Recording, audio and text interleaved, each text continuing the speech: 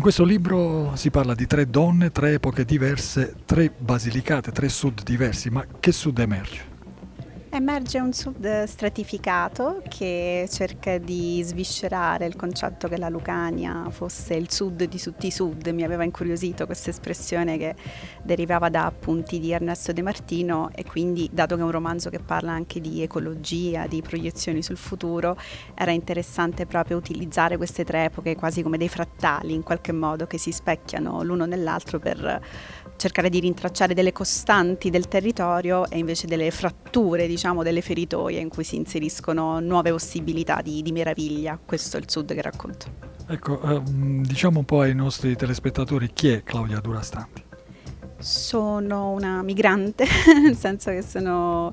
uh, un'autrice che basa molto uh, del proprio lavoro su quest'idea di straniamento. Di, io sono arrivata in Basilicata a sei anni da una famiglia lucana emigrata negli Stati Uniti e da quel momento in poi la mia prima ispri- ispirazione di scrittura, poi da traduttrice, si basa costantemente di, su questo attraversamento dei mondi, diciamo, e al momento con questo romanzo invece mi interessava approfondire proprio il rapporto fra magia e tecnologia. Scrittrice ma anche appassionata di musica eh, perché cura una rubrica musicale su Internazionale. Di che cosa si occupa in particolare?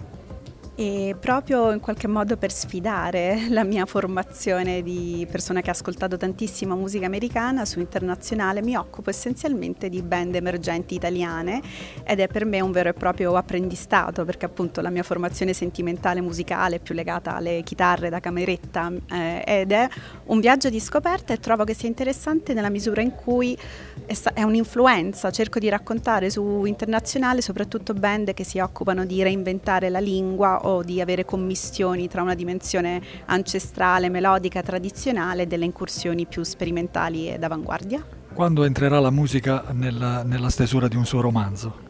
C'è sempre la musica perché scrivo veramente leggendo ad alta voce, cercando, o meglio, prima eh, nei miei primi romanzi la musica era proprio un riferimento, potevo citare i Velvet Underground, i Joy Division, band che amavo moltissimo, invece adesso è diventata incorporata nel testo, in qualche modo penso che i miei libri abbiano un ritmo eh, che può essere appunto musica ambient o elettronica, sono passata dal citare le canzoni a cercare di diventare una canzone.